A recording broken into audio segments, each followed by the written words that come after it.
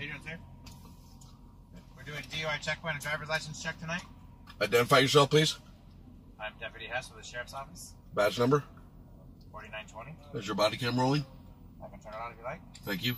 Yep. Just want to see your driver's license real quick.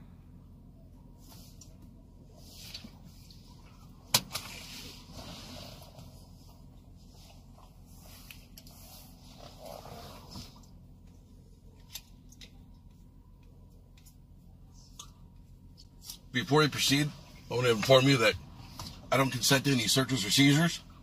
I'm also, under the advice of my attorney, not going to answer any questions without my lawyer present. Got